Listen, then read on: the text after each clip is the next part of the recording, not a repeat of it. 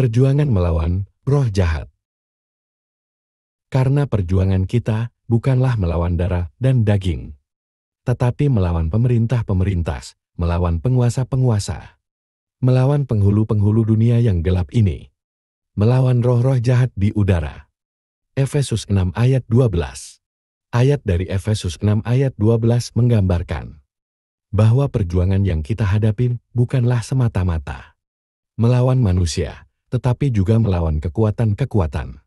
Gelap di dunia ini, manusia sering kali terjebak dalam pertempuran politik, kekuasaan, dan pemerintahan.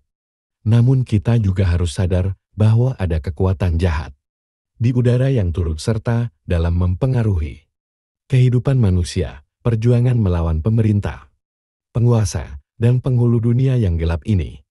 Bukanlah sesuatu yang mudah kita harus mempersiapkan diri dengan senjata kebenaran, keadilan, iman, kasih, dan salib.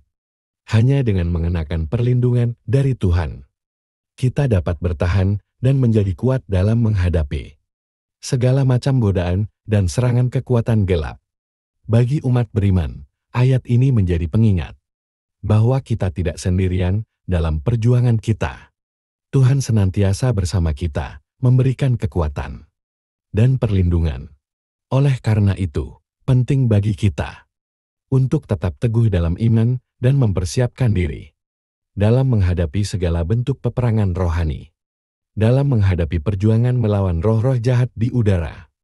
Marilah kita berdiri teguh dalam iman dan mempersiapkan diri dengan senjata yang Tuhan berikan agar kita dapat mengatasi segala godaan dan tipu daya yang datang dari kegelapan.